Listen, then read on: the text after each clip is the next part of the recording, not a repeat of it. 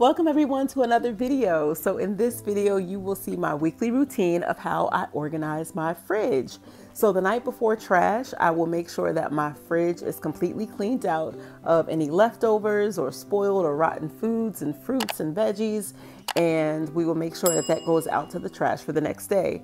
And then later on in that week, that's when I will do my weekly grocery shopping.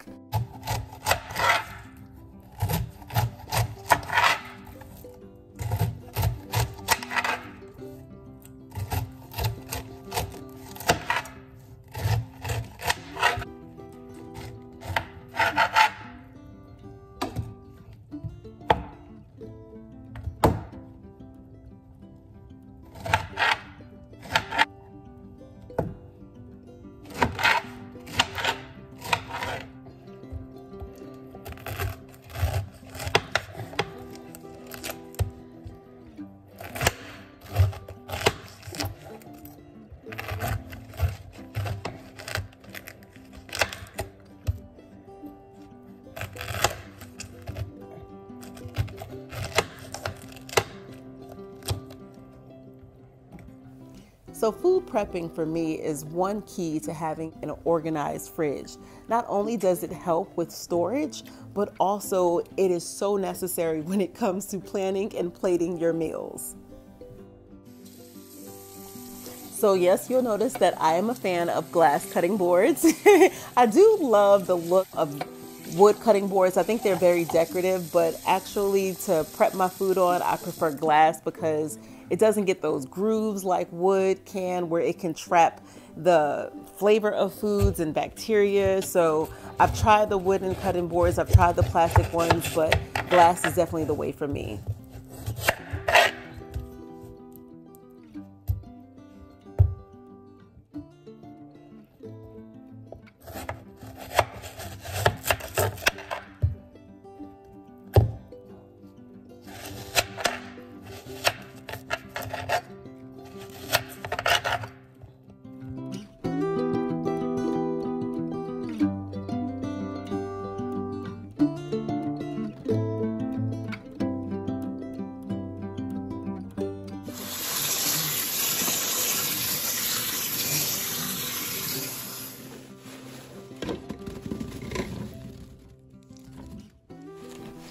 So again, having an organized fridge for me is not just about aesthetic, but it really is about convenience. And so with that in mind, I will go ahead and wash my grapes. I'll pre-pluck them off the stem and then of course dry them. And I'll also do that with the cherries. Now I don't do that with all of my fruit because sometimes when you wash your fruit beforehand, it actually makes the ripening process go quicker. And of course, we don't want that. We're trying to preserve our fruits and veggies.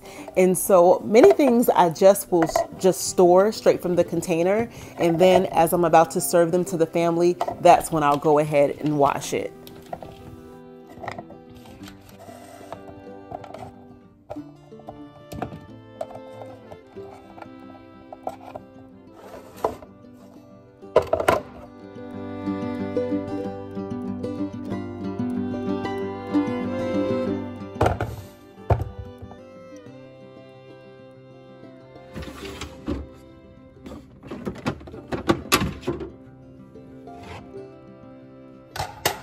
Benefit to the clear containers is that you know you can easily do inventory and know what you need to add to your shopping list.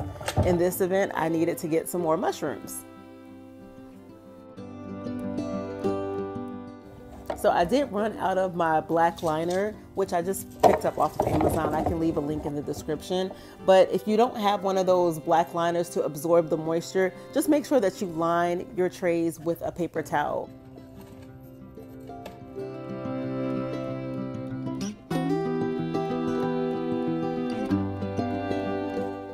Some of the key elements to me for having an organized fridge is just making sure that your containers are clear. Not only is it aesthetically pleasing, but also it just helps you not to waste food because if you can see the food that's in your fridge, you're more than likely to eat it.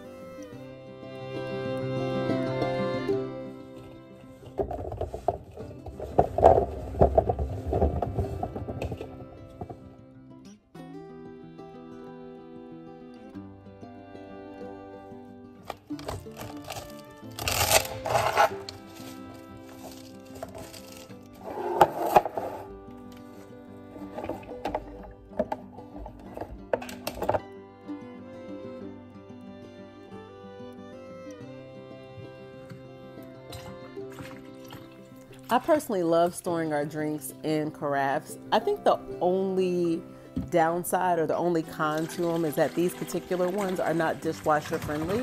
And so, you know, after every use, you do want to wash it out. And so it can kind of be hard to wash it because of its shape. But they do have glass carafes. But me having young kids, I just don't think that's the wisest choice. But yeah, I love the carafes. But this right here is definitely just for aesthetic.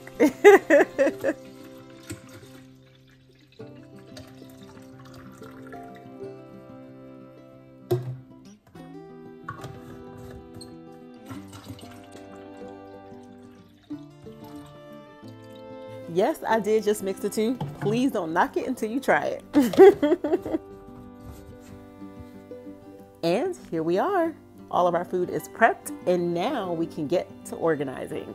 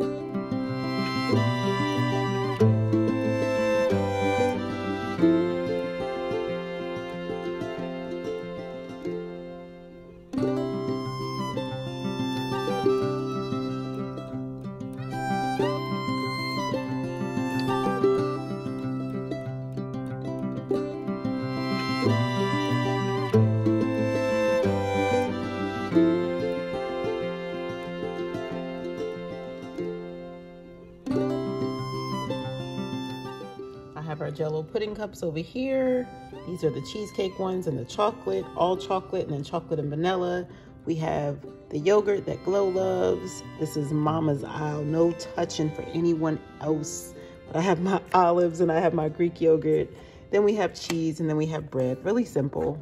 Okay, so here's the grand reveal. And I've had this refrigerator for two months now. We got it right before Thanksgiving. That's when it finally was delivered. And um, yeah, this is how my fridge pretty much stays. So I'll show you once I got these containers. These containers help a lot. I'm used to having a organized refrigerator, but this has been the best one because of course we do have the space now, but then also these containers were a game changer. So I'll first go over everything. This is the eggs. I've had this egg container probably for about two months now or a month and a half now and I love it. So I actually went ahead and ordered another one and it should be here today. And so I'll have two egg containers soon. Um, but this is where I keep the eggs. Of course, this is the water. And I just think this is good. We act, we do have a water dispenser on the fridge, but you know, I like to be able to offer guest water when they come or like repairmen. And I think that this is always good to have because most people, unlike me, like cold water. I love room temperature water. This is where we keep the salad dressings right here. And this is where I keep the condiments. And this is just a little Lazy Susan that I purchased from Home Goods. Now, this is where I keep the fruit. My fruits pretty much stay the same. However, sometimes you might see in here, or instead of pineapple, we might have pears. What I typically do is whatever fruit that's over there, once it starts to ripen, I'll go ahead and just put it in the refrigerator to kind of slow down the ripening process. But if the fruit is still kind of hard, I'll definitely leave it out. And then that's when I'll put it in the fridge again once it starts to ripen. So I like this system because it lets me know when I'm running out of something. And because these are our staple items, it just really helps. So I know like, okay, the kids love grapes. Oh, we're running low on grapes. So let me go ahead and get some more. And so again, here are the grapes. Ooh, let's take that one out. But yeah, here are the grapes right here. These are the blueberries, blackberries, and cherries. This is the watermelon tray. This is apples. And sometimes I'll keep oranges in there. Again, once they start to ripen, I'll just put them in here. These are where we keep the lemons and the limes. This tray is for pineapples. Again, sometimes I'll put pears in here.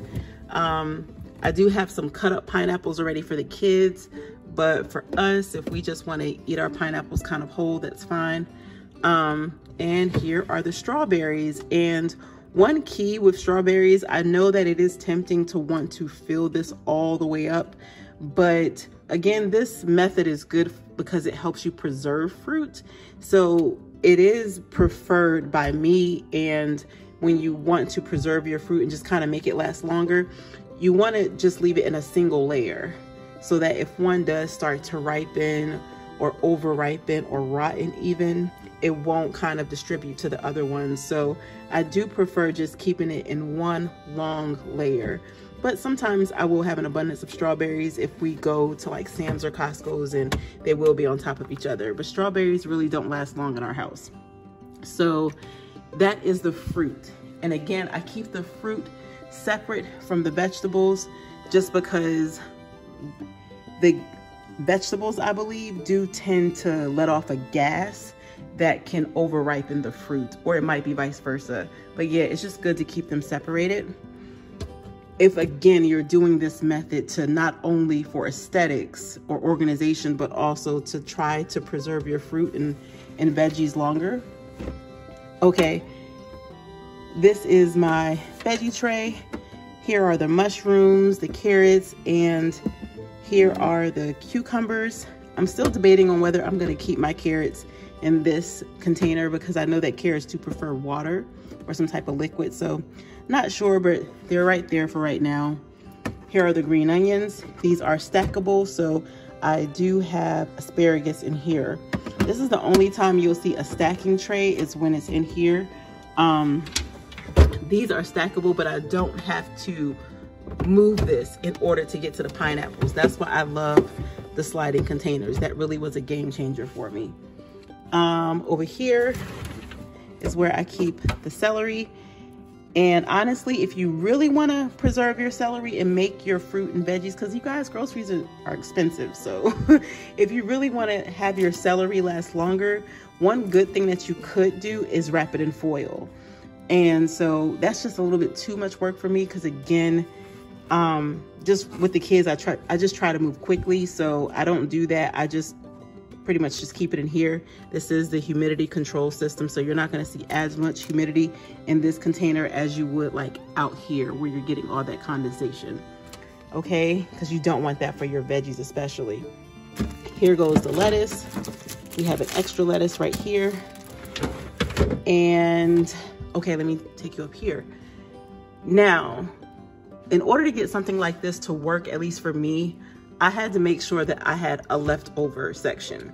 Um, a lot of times people will just put trays and trays in here or organizing with just, you know, stuff and I guess things they need, but then we eat leftovers. Everybody doesn't eat leftovers, but we do. So this section is dedicated just for leftovers, which is very important here. Um, and then this are this is basically an organizer for our tubs. Mainly just a lot of cheeses, but they won't fit in the condiment tray. This right here is my kind of leftover tray. Excuse me, not leftover, but needs to cook tray. So first I keep these here. So when I do cut uh, produce, it needs to be stored. I'll put it in there. And so that's what this is for. I keep it in the refrigerator just so that I don't have to look for it when I need it because I do, um, you know, cook with these things and eat these things pretty frequently. But you can also store them in the cabinet if you like. I just keep them in the fridge for easy access. But this right here, I guess you would kind of call it like my meat tray. But after I go grocery shopping, I don't necessarily cook everything that I get all at once. And so things that I don't cook and that needs to be cooked, I will put them in here.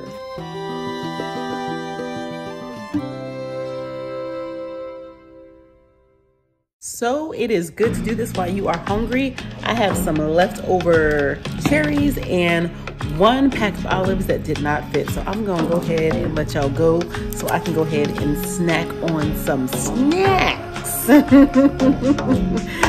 All right, y'all. I hope you enjoyed this video. Thank you so much Please don't forget to like, comment, and subscribe. And don't forget to go take your peace and give God the pieces.